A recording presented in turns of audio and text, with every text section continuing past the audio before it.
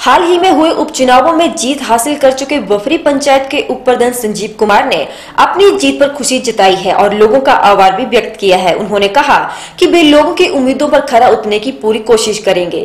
कहना चाहूँगा, ये तो मेरी पंचायत की जो वोटरों ने किया है काम, मैं तो एक छोटा सा ये था, गाँव से किसान का बेटा, और लोगों ने मुझे जो आशीर्वाद दिया और प्रधानी के लिए खड़ा किया और इन्होंने जो सपोर्ट की उसके लिए मैं अपने पंचायत के सभी का धन्यवाद करना चाहता हूँ।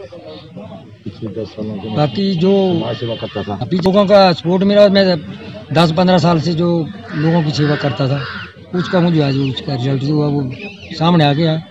बाकी जो लोग बताएँगे इसके बारे में कुछ करना है क्या करना है पंचायत में जो उनकी सेवा होगी उसको करूँगा। कोई काम होगा इनका वो करूँगा जो मेरी लायक करने की सेवा होगी।